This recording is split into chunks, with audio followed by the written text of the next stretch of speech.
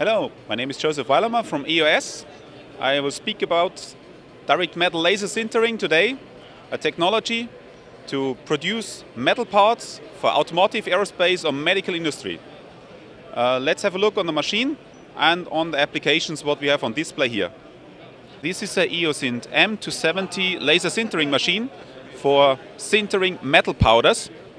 In the machine you see running a stainless steel 15-5 material producing tiny metal parts. In the process we produce layer by layer a metal part in resolution of 40 microns and we solidify with the energy of a laser of 200 watts parts from aerospace application, medical application or automotive application and layer by layer the part is growing in that direction and solidifies massive parts with mechanical properties as casted, as forged from stainless steel PH1.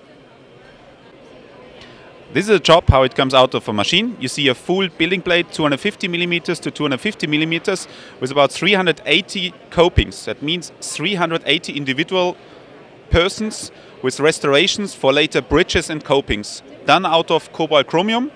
This is a typical material for dental products, what will be later on covered with uh, ceramic. We call it veneering, which makes the individual shape and individual color of a dental uh, product, dental bridging crown.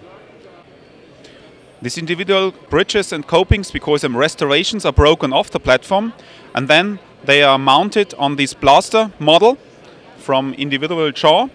And on there, right hand side, you see the part out of the machine. On the left hand side, the part covered with ceramic.